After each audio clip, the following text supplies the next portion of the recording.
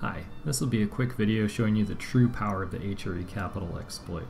This has been covered by people like the Blobber and the Playmaker in the past, but uh, this will extrapolate and show you just how truly broken this strategy is. So as you can see, I'm a post-revoke Austria, and Great Britain is currently not in the HRE. All you have to do is uh, take their capital in a war and be able to connect it to the HRE. I'm going to use console commands, but you could do this legitimately as well own their capital and then add it to the HRE. Then return the province to them.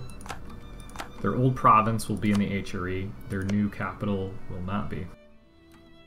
Start a second war, probably after your truce is up.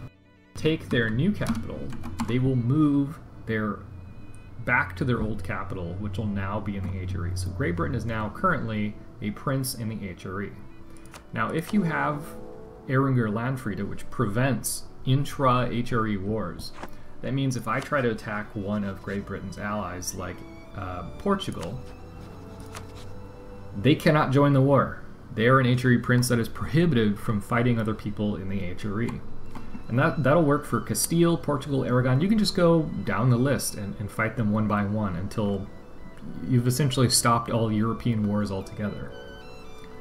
Now, the really broken thing is if you have added them to the HRE and you allow them to colonize, you wait a few hundred years for them to fill up North and South America, and then you form the Holy Roman Empire, not only do you get all of these princes, like all of Great Britain, all of Iberia, you could get all of Russia, all of Sweden, you also get the colonial holdings as well, which is kind of crazy. So, uh, if you want the easiest uh, one tag, uh, one faith world conquest you've ever seen, uh, do this strategy.